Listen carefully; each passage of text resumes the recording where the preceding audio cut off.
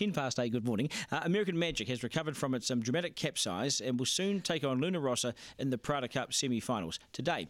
But has the time speed off the water put them completely on the back foot in all of this? Joining us now from the waterfront is America's Cup veteran Ken Read. Uh, welcome to the program, Ken. Good to have you on. Yeah, it's great to be here. Thank you. And what's going to happen today? What's the, what are the conditions like, firstly, and um, what do you think is going to happen today?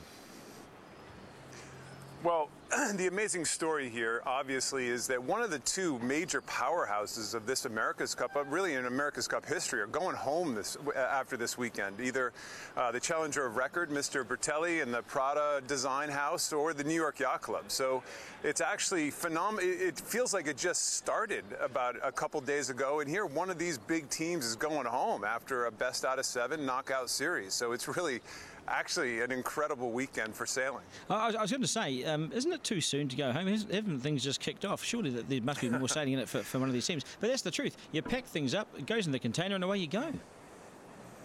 Well, I have a feeling, given the way the rest of the world is right now, nobody's going to be leaving your pretty little island here very, very soon. I, I can tell you that. But it's. Uh, it is shocking to think that it, it, did. It just started. We just started. And, and I think that when they go back and look at the scheduling of this event, there are going to be some questions asked over time as to whether this was done properly for the challengers really to pick the best person because, again, they're just starting. Yeah, I wonder that myself. Actually, I, I just um, it's not like corners have been cut. Has COVID had anything to do with it? I mean, has, has the COVID environment had anything to do with how we feel about that? No, I, I, don't think so. It's really about uh, th- these these decisions are made literally years ago. Like these programs, they're started. You know, th- these programs all started three years ago. Imagine that, and it comes down to one weekend. It comes down to one mistake. One of these boats was sinking last week. Uh, the other boat has had, you know, really kind of suspect results because it, it's kind of deemed to be a light air monster. So really neither of these teams are perfect right now, and, and the big question mark, of course, is the Americans and whether that boat is going to be in one piece and if they've worked all the gremlins out of it. You know, it's really going to be it's it's fascinating. Honestly, nobody knows. Really, nobody has any idea what's going to happen this weekend. Yeah, because there hasn't, as you rightly point out, there hasn't been enough sailing to, to, to work it out, and I just and, and, the teams are still working out what's going on with these boats and on the water themselves. I think it's a bit of a shame actually, but anyway, Dean Barker, can he do it? He's in his own home waters. Let's be let's be clear about that this is not a foreign this is not a foreign challenge in many ways. I mean, Dean is a local.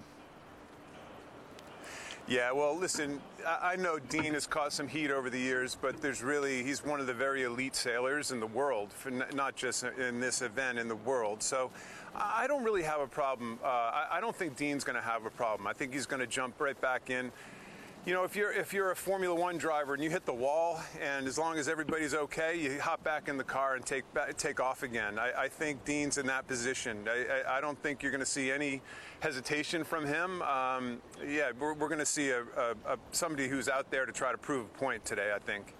There's obviously been a lot of talk about the challenges, and we've seen a lot of the challenges recently. We saw a little bit of Team New Zealand, but has anyone been keeping an eye on actually how Team New Zealand is looking through all of this? Because they've still got to be honing their skills as well, don't they?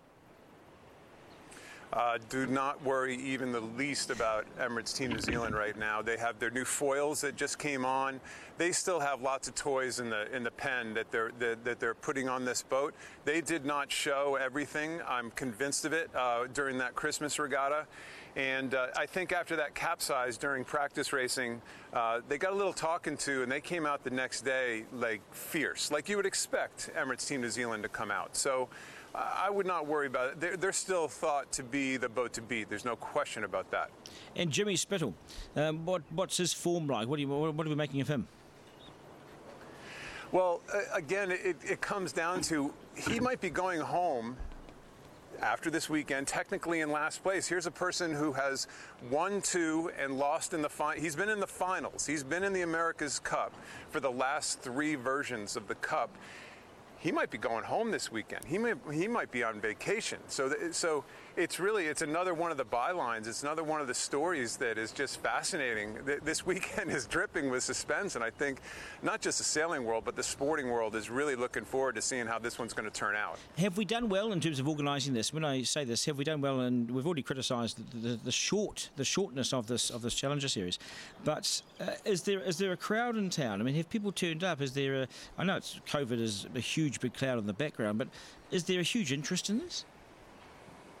Well, there's huge interest around the world because uh, I think the television ratings are terrific, because, fortunately for us, because uh, nobody else has anything to watch. So many sport events around the world are, are shut off, or are shut down.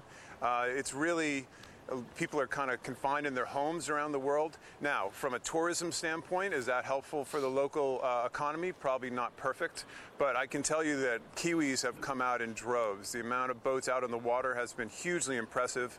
Uh, down here in the viaduct, it's really, they've done a great job of setting this place up. Uh, you know, for, for, me, for being a foreigner, for being an American, it's a privilege and an honor to be here. It's a shame that more aren't, but uh, you can you can for sure know that the rest of the world is watching and watching very, very carefully. What we'll do is we'll hang on to this thing for another four years and we'll do it all, do it all again in four years without COVID, hopefully. Well, How, how's that for a deal? They're going to do it sooner. They're going to do it sooner than that, I think. If I, I, I would imagine if the Kiwis win, they got this great boat, they have this great venue. There's no reason not to turn this around as quick as they possibly can. So that's just my guess. Ken, just on Jimmy Spithill, you know the Kiwis better than anyone. Never take Jimmy Spithill for granted. But can I go just a little bit personal on you? Because I read that when you started out sailing, you didn't actually like it. But you remember a fundamental change in your life when you went from loving to win to hating to lose. Tell us about the difference right. in that in that moment. I think it was, it became my profession. I think it was a, a, a difference between uh, being my kind of my passion to my profession. And when that happens, I think there's a switch inside of you. Uh, I, you know, I was sailing, I've sailed, I've, I've sailed around the world three times. I've, I've skippered Dennis Conner's uh, Cup campaign twice here in, in 2000 and 2003 after a while, um, you don't get up in the morning thinking, I want to go sailing because I love to go sailing. You get up in the morning, I'm going sailing because it's my job. And I think when that happened for me, it, it became a little more personal and a little more, um, uh, yeah, hating, hating to lose. I, I didn't really care about hoisting the trophy anymore. I just didn't want to see anybody else hoist it. I guess that, that that's the point. Just a, a question on uh, these boats' ability to be fast in all ears um, because we hear, you know, some some are good and, in light airs, some aren't so good and light airs. How difficult is it to come up with a boat? Is it possible to have a boat that's an all rounder, or do they have to gear them up for a specific um, wind condition? Well, there's no question that uh, everybody aims to be an all-arounder. The problem with a brand new, uh, a brand new uh, design like this, a brand new concept, is the fact that uh, nobody really knows where they're at early in the stages. I think next time, next time around, if there's another version of the America's Cups with with these boats in them, you'll see everybody start coming much closer together. Uh, wing sizes, for example, the wings underwater, the, the, those will start coming closer together. Everybody will see what the next generation, the last generation of fast foils look like. And when that happens, things get a little more even, Stephen, across the board. But this time around, for sure, we're seeing a wide disparity because it's new, it's brand new. Nobody really knows. And, uh, and until we find that second generation, I, I think that's when things will start evening out. Hey, good stuff, Ken. Really appreciate having you on the program today. Welcome to New Zealand. I hope you're having a great time, and uh, we will catch up with you again. America's Cup veteran and skipper, of course, Ken Read. Appreciate your time on the program, mate.